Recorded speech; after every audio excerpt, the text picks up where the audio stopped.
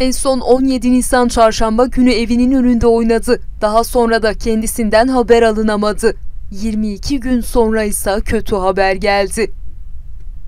Erzurum'un Karaçoban ilçesinde kaybolan 4 yaşındaki Furkan Yiğit'in cansız bedeni evine 10 kilometre uzaklıkta dere içerisinde çobanlar tarafından bulundu.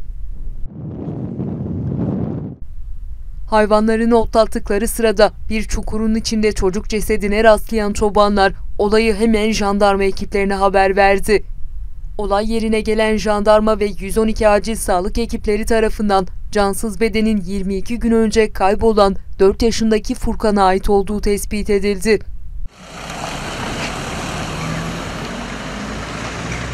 Hınıs Cumhuriyet Başsavcılığı'nın yürüttüğü soruşturma kapsamında küçük çocuğun babası, amcası, dedesi ve babaannesi gözaltına alınmış, daha sonra baba Hınıs Sulh Ceza Hakimliğince tutuklanmıştı.